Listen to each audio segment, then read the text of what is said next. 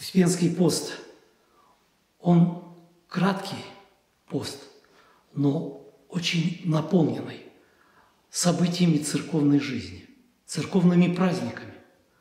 Начинается изнесением честного креста. Середина поста – это праздник преображения, который говорит нам о тех плодах, которые мы должны принести Богу. А конец праздника – это переход в вечность. Какой он должен быть?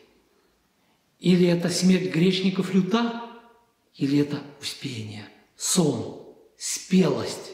Человек поспел для Царства Небесного. Вот все эти события проходят за две краткие недели.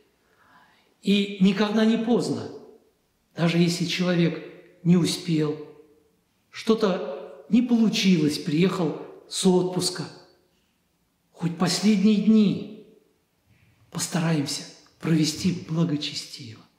Божия Матерь видит наше усердие.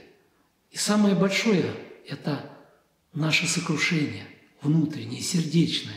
Когда мы чувствуем эту греховность. Сокрушение – это значит в переводе на русский переживание.